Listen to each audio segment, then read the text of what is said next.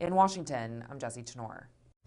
And as the abortion battle continues nationally, we're talking with organizations here in the Miami Valley on both sides of the abortion debate. Both groups are weighing in on what overturning Roe v. Wade would mean for Ohio. 2 News reporter Allison Gens is live in the studio with team coverage. Allison. Leaders on both sides of the abortion debate in the Miami Valley say the Roe v. Wade leak has been emotional, and both say there's a lot of work to be done.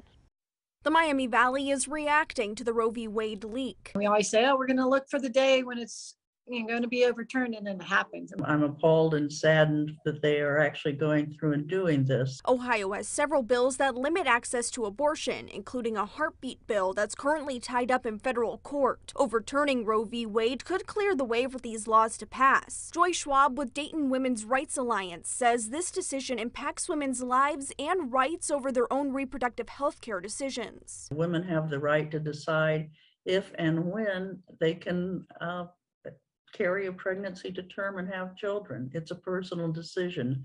Government has no right stepping in. Margie Christie with Dayton Right to Life says their organization is there to support mothers so they don't have to turn to abortion. Overturning Roe would be a major milestone for what they do. Here's our opportunity. Ohio wants it. We have pro life Republican legislator, we have a pro life governor. Let's end it and, and let Ohio be, you know, a safe and, and loving place for babies. Both leaders say no matter which way the Supreme Court decides, there will still be a lot of work to do. It's not going to end abortion. So what we got to do is we just have to be there for women. We, we just have to be ready in a post-Roe world to help these women. We're all going to work as hard as we can to make sure that that right is protected. And if not, that it will be reinstated with the new Congress in November.